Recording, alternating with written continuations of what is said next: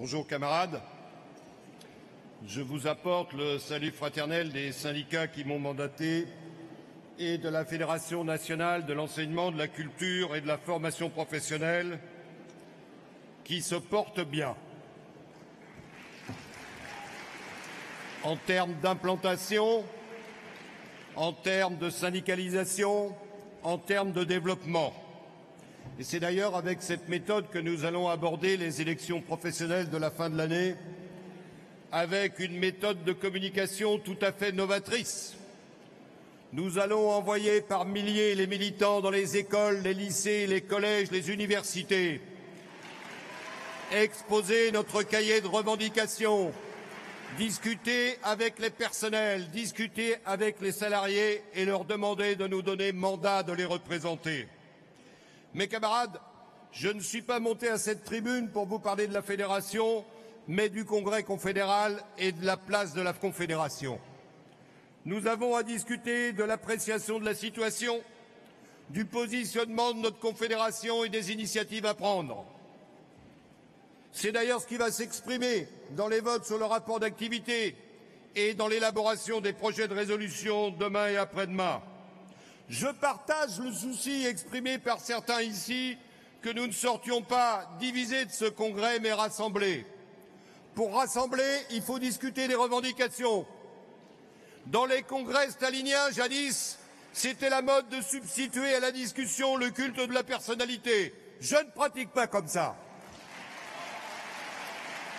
Le contexte, le contexte de notre discussion c'est un contexte international où le capital financier a décidé la réduction du coût du travail et pour cela de casser tous nos acquis. Nous n'en voulons pas. Et la première réponse que j'en suis sûr apportera le Congrès, c'est un soutien sans faille à la grève des cheminots. Non pas seulement par solidarité, camarades. Bien sûr, il y a la solidarité, mais il y a autre chose. La conviction que si les cheminots gagnent, nous n'aurons pas perdu. Alors bien sûr, la signification de la grève des cheminots, nous la comprenons tous, mais il faut la décliner. Mes chers camarades, la Fédération n'a eu aucune hésitation à caractériser pour ce qu'elles sont les ordonnances Macron, une entreprise réactionnaire qui se décline maintenant sur tous les aspects des rapports sociaux et de la vie sociale visant à casser les syndicats, visant à casser notre base, visant à casser les conventions collectives, le code du travail et les statuts. Camarades, certains ont pensé que les ordonnances ne concernaient que le secteur privé. Quelle erreur Aujourd'hui, dans la fonction publique, on est en train de nous, annoncer la fusion des IRP, qui ne sont pas des IRP. On veut nous fusionner les comités techniques et les CHSCT, c'est-à-dire les, les supprimer. On nous annonce comme conséquence une modification du droit syndical. Ce qui nous pend au nez comme un sifflet dessous, c'est une réduction d'un tiers des mandats et des droits syndicaux dans la fonction publique comme dans le secteur privé. À soi seul, cette mesure suffit à caractériser les ordonnances et à exiger leur retrait.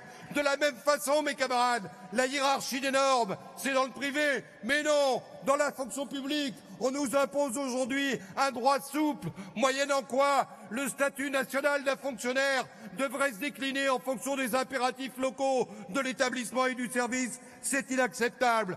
De la même façon, mes camarades, nous n'avons eu aucune hésitation à caractériser pour ce qu'il était cet accord funeste sur la formation professionnelle qui transforme un droit, le congé individuel de formation en un compte personnel modulable, variable et à disposition des patrons.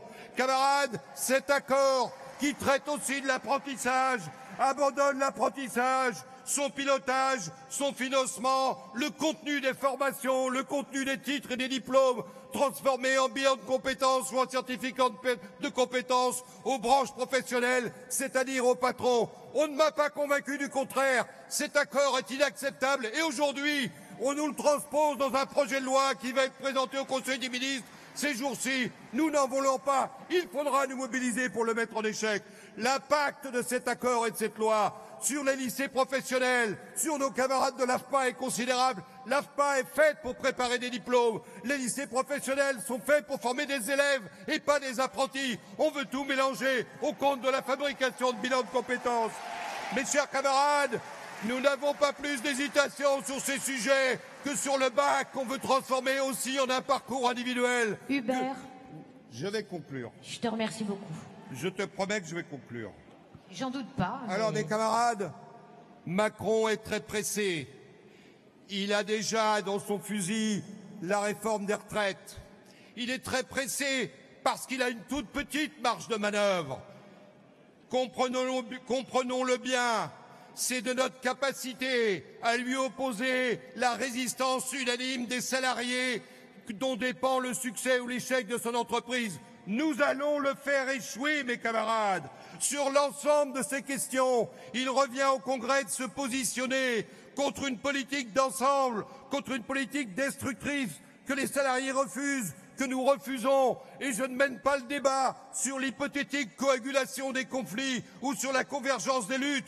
Nous avons à prendre, comme confédération indépendante, nos responsabilités. Il nous prépare le retour, dans le public comme dans le privé, au contrat individuel de louage de services, sans service public, sans protection sociale collective, sans fonctionnaires, sans syndicats, sans statut, sans convention collective, sans code du travail. Nous n'en voulons pas et nous avons la force, si nous prenons nos responsabilités, de les bloquer. C'est cette appréciation qui doit sortir du Congrès comme un point d'appui à tous nos syndicats, comme un point d'appui à chaque bagarre dans chaque secteur. Mes chers camarades, le Congrès va décider et le dire aux salariés demain. Nous allons établir le rapport de force interprofessionnel. Et pour commencer, pour commencer, nous allons donner mandat à la commission exécutive confédérale, au bureau confédéral et au secrétaire général de préparer maintenant une initiative de grève interprofessionnelle et de prendre contact pour ce faire avec toutes les confédérations. Vive la CGT Force ouvrière